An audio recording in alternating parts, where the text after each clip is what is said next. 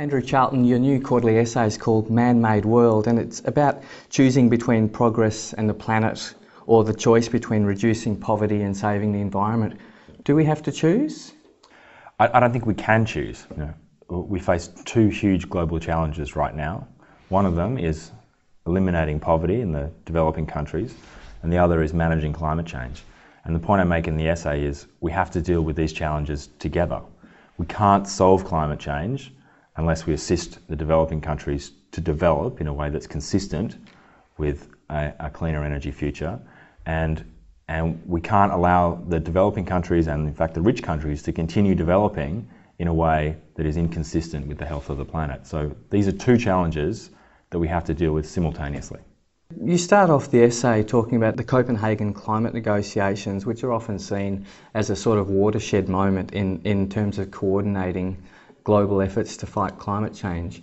Uh, you were there. What did you take away from, from Copenhagen?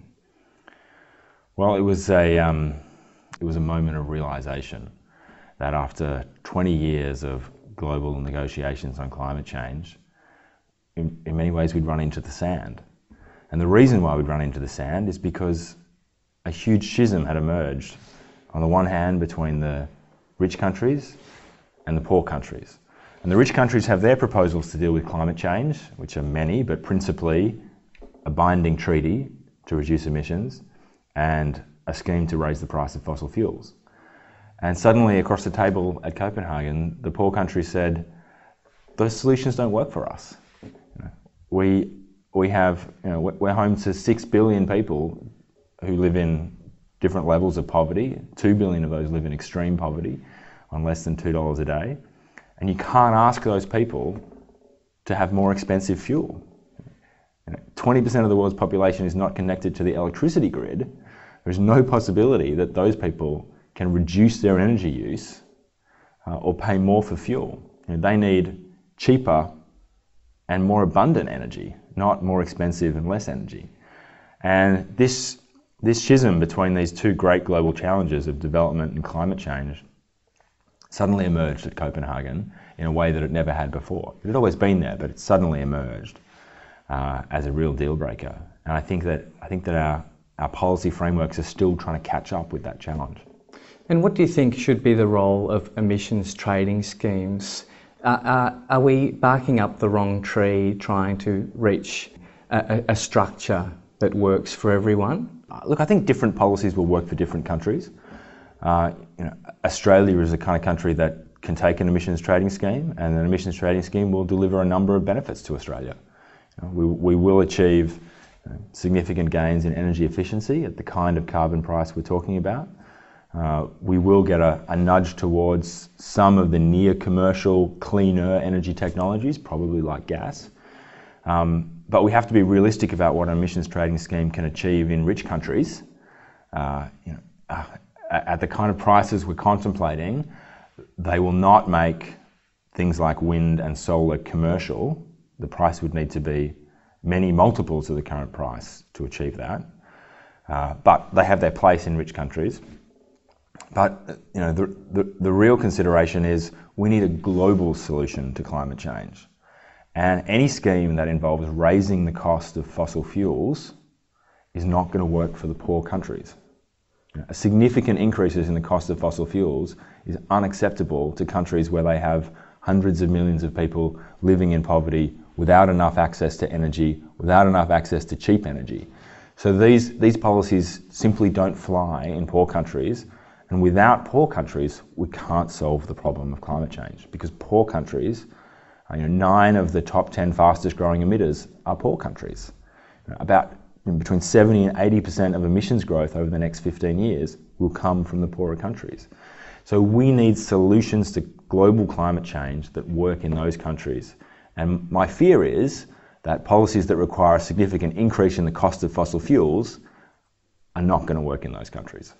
So is the solution that, that we pursue renewable technologies and and that, that these need to be developed in the Western countries so that they can uh, be applied in, in developing countries is, I, I guess it's very difficult to contemplate answers to this conundrum in developing countries if we really don't have technologies at this stage. I mean, it seems from the logic of what you're saying is that there really is no solution if we're to allow developing nations to continue to develop.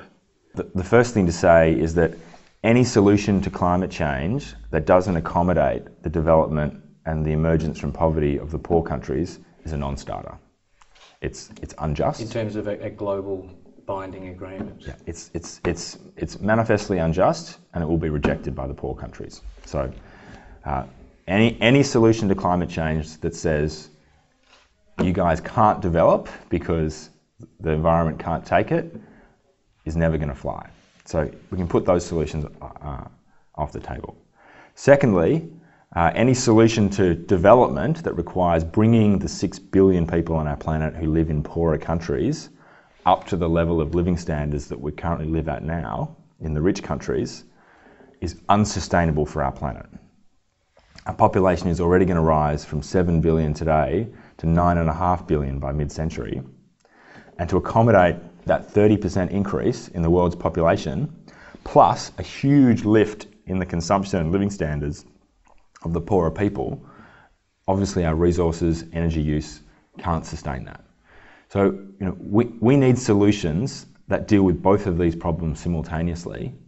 And the kind of solution space that is possible is significant improvements in technology. It's not easy to do that.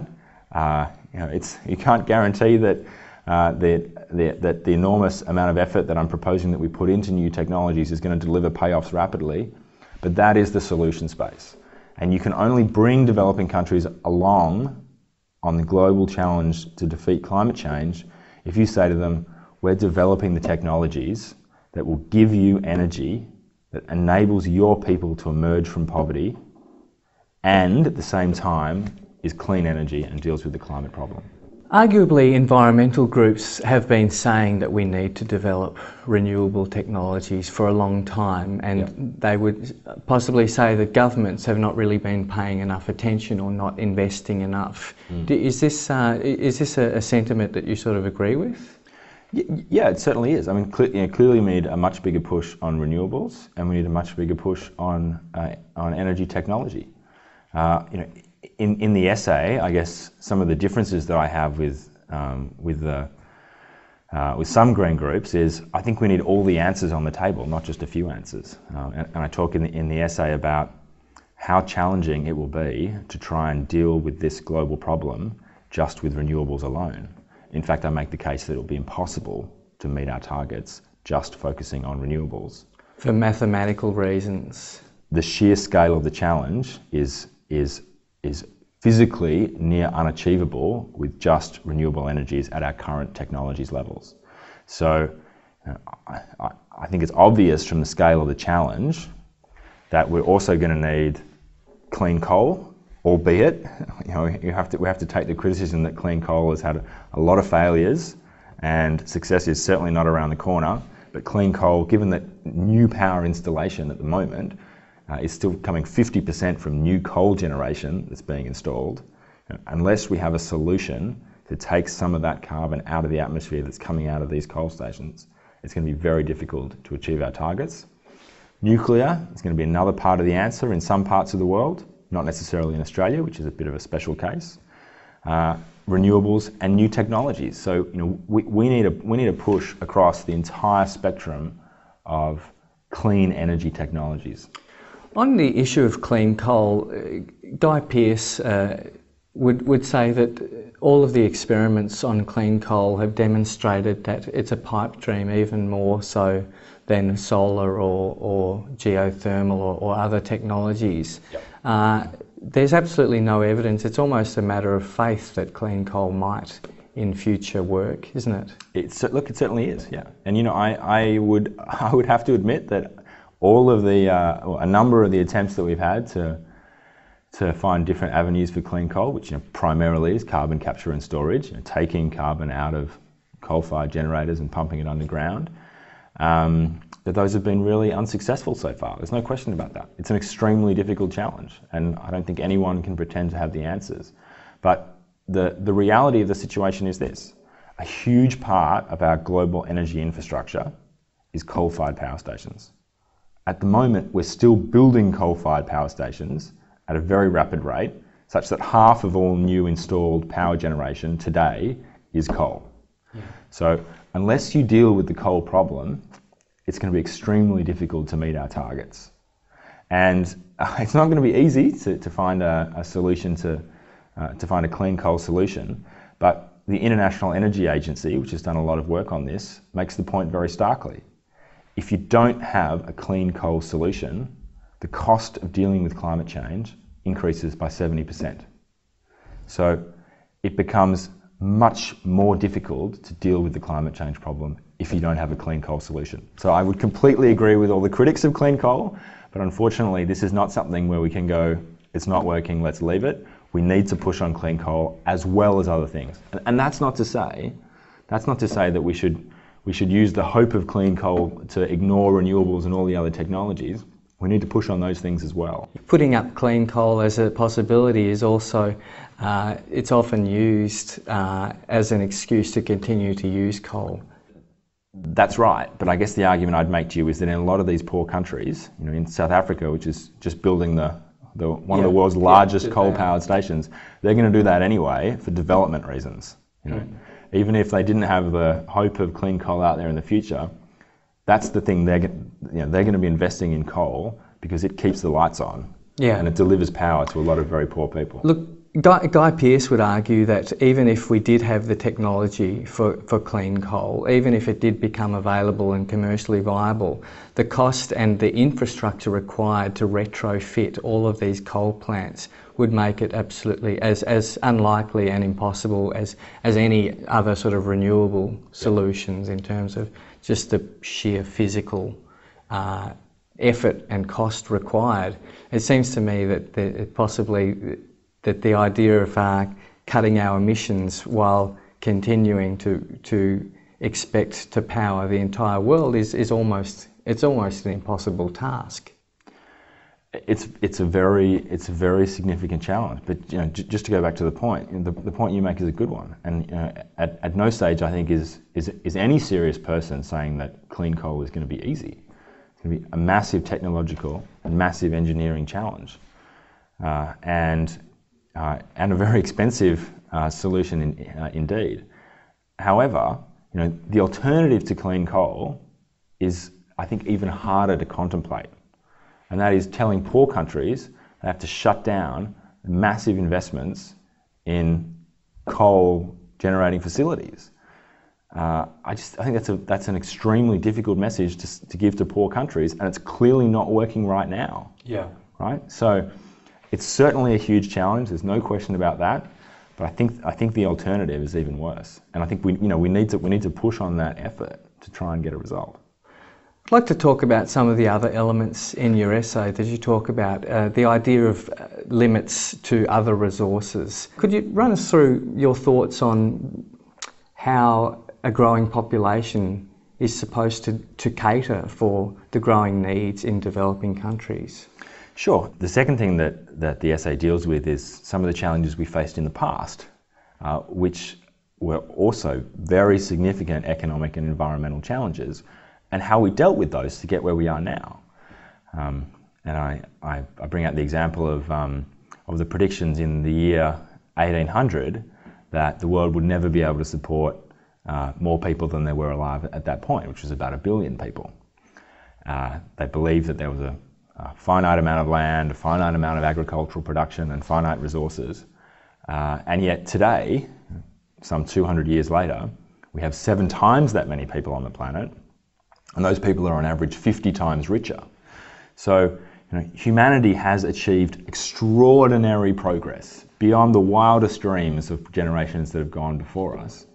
And the, and the essence of that success, one of the essences of that success, has been the compounding impact of technological change, which has delivered, and I talk about this in the essay, huge gains in agricultural production, huge gains in uh, new materials um, for, for various applications. And that process of technological advancement, which has been such a such a, a huge benefactor to the generations before us, uh, is the same solution space that we need to look to for our future challenges.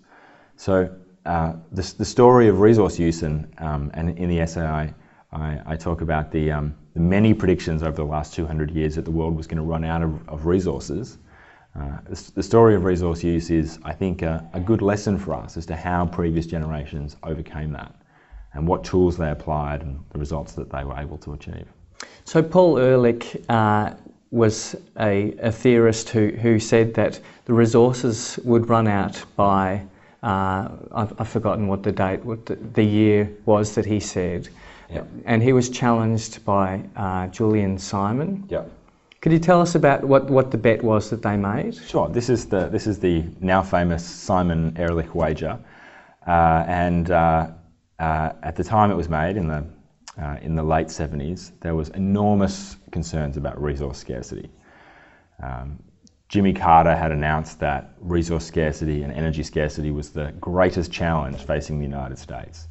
There were predictions that the huge population growth that, that everyone could see occurring at that time would lead to widespread famines around the world, that we would be running out of food, we'd be running out of resources. There were some very popular bombshell books um, uh, that, that, that, predicted that the population explosion that was occurring at that time uh, would lead to ruin um, for the global population. And, uh, and an economist, uh, J- Julian Simon, predicted the opposite. He said, you know, no, as, as time goes by, um, things are actually going to become more abundant and cheaper. And so these, these, these two people entered into a bet uh, around whether or not over the course of the 1980s that five metals that they selected together would go up or down in price. And to cut a long story short, uh, the result was that all five metals went down in price over the course of that decade. And uh, the man that won the bet, Simon, uh, his, his theory was, in a sense, at least over that period, vindicated. And his theory was over time, technology enables us to switch out of scarce materials and find new materials, to use less materials in some of our applications. So, for example, know, we used to use a lot of steel in household appliances. As steel becomes more expensive, we switch to plastics. We used to use a lot of copper in telecommunications. Uh, as copper becomes expensive, we switch into other materials like fiber optics. So, technology offers us the opportunity to uh, at least to some extent, across some different commodities, and it is different across different commodities, uh, to continue the path of human progress uh, and, and avoid these scarcity issues. You know, and, and indeed, you know, over the last over the last 50 years or so, until recently, we saw you know a, a, re, a relatively steady period of commodity prices, with commodities being relatively abundant around the world. And we're currently going through a period of heightened commodity prices, uh, and so this this debate is reigniting right now. It's a very optimistic view that we can just continue to, to pull more uh, resources, commodities out of the ground. Surely, may, maybe uh, Paul Ehrlich just got his dates wrong. He, he may well have just got his dates wrong, but you know the, the, the underlying theory that he brings to the table, uh, I think, is powerful. Uh, and, and I think you know another market where we're seeing this is in is in the oil market almost since oil was discovered, people have been predicting its end. The, yeah. the peak oil theory has been around for for, for 60 years. And it never is, you know, uh, oil is not ending. And we've just made massive discoveries of, of new uh, coal seam gas, which are going to provide uh, uh, another enormous reserve of, of, of, of hydrocarbon based energy. Um, so, you know, as time goes by, we develop better technologies in extraction, better technologies in discovery, better technologies in refining, uh, and we seem to be able to continue to use more and more hydrocarbons as time goes by. So I think you know technology is a is a tool that enables us to do more with less as time goes by. And the, the challenge of that is that uh, you know to to quote um, to quote uh, President Obama's uh, energy secretary, you know, there are there are enough hydrocarbons to keep us going, but there are also enough to really cook us. So the challenge for technology is to take it is, is, is to take the, all the skills that we've, that, we've, that we've previously applied to developing more energy sources, more hydrocarbon sources, and apply that to renewable technology. I'd like to also apply these ideas to the production of food because obviously with a, a growing population, rapidly growing population, mm. uh, these issues really hit home.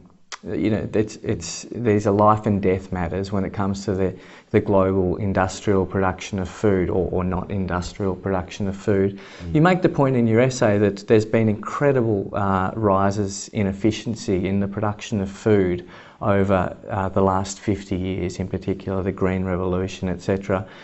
Uh, but these are very much based on uh, fossil fuel and phosphate developments.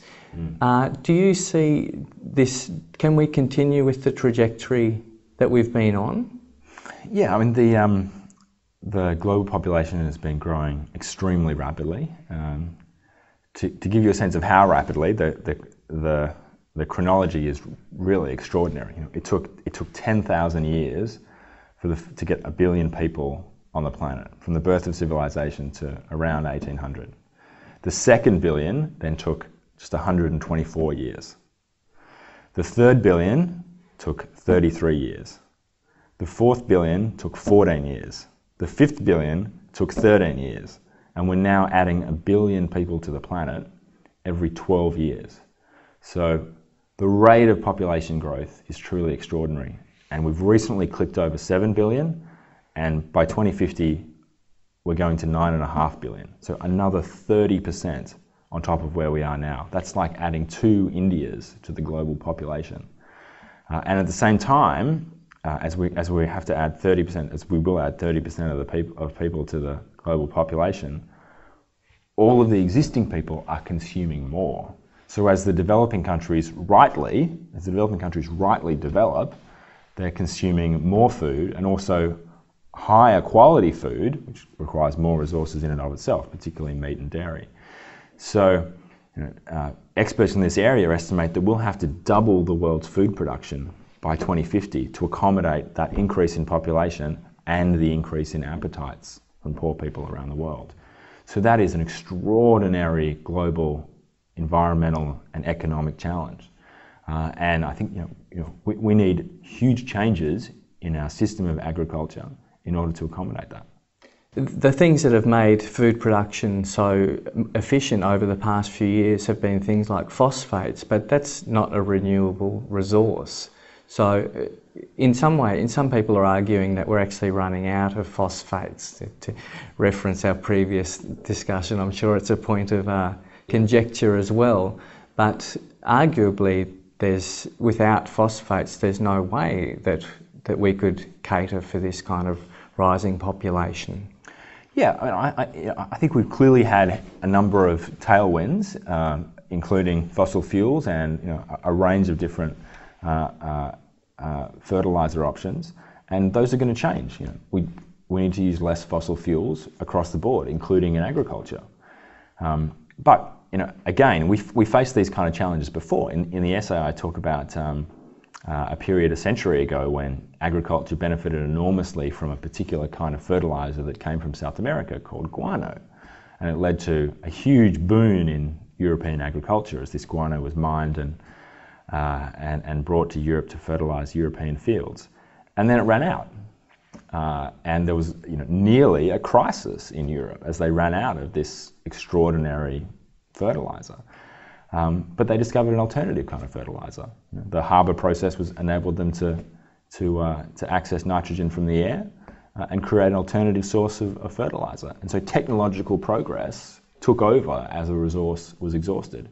Now, you can't guarantee that's always going to happen. Um, uh, uh, and we do need to be very mindful of, of limited resources, there's no question about that. But technological progress is an avenue that we can continue to to, to seek to make gains in, and that will be enormously helpful. I heard an Indian environmentalist, in fact, the two Indian environmentalists I've heard speaking publicly both said to be an environmentalist in India, uh, the most important thing is, is actually the education of women, because the education yep. of women is what reduces fertility rates, etc. It seems to me that without reducing global population growth, there's uh, that at some point you'll have to bump up to the limits of uh, resources, but even water, I think, Yeah. is a, is is a you know is a finite resource. Yeah. I just wanted to bring it back to uh, the, the climate change issue. Again, we come up with this very difficult conundrum of reducing emissions while we have a, a growing population resources use. Geoengineering seems to me the, the, the great elephant in the room. It doesn't really seem to have been discussed so much Mm. publicly. Do you think this is something that will uh, come to the fore more? Y- yes, I do. Mean, so you know, ge- geoengineering is uh, people talk about it as a backup plan for climate change, uh, a mechanism to alter the Earth's climate um, to try and offset some of the impacts of, of global warming. And there are a there are a number of different proposals for how you might do that. Um, I, I think I think a lot of people, for understandable reasons, are are concerned about geoengineering. Uh, the research is uh, currently quite weak. The risks are extremely high, and I think you know people are genuinely worried that you know, geoengineering might be thought of as an excuse not to make progress on reducing emissions, uh, and, th- and those are all legitimate concerns. You know, but uh, unfortunately, I think that the situation that we're in now with climate change is such that it is extremely grave and extremely unpredictable. You know, we could we could we could end up you know, we may or we may not, but there is a possibility that we could end up with very serious non-linearities in our climate change impacts, where we suddenly have to deal with very rapid warming, uh, which is extremely challenging to adapt to. Uh, and if we end up in that world, in a slightly unpredictable world, if something happens that we that we don't expect, then you know we will need to look at geoengineering solutions. So uh, I hope that we make progress on that as a backstop technology, and I hope that we don't use that, however, as an excuse not to take action on emissions reduction. But I think we need to do both. It's been great to talk to you. Thanks Yeah. very much. Thanks very much, Nick.